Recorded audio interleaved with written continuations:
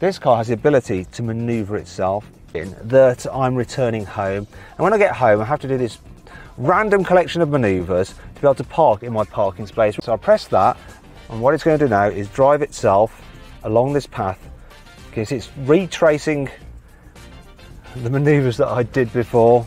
You don't have to do this kind of crazy maneuver every single time that you come back to your house. The car will do it all for you. Oh, you can just relax, let it do its thing, actually good. And let's say you are coming back late at night, this BMW could save that from happening to you. Look, don't worry, just press a button, does it automatically. You don't even have to push the door to open it, just press the button again, opens. Sensors in the doors which stop that from happening, look. See, perfectly fine.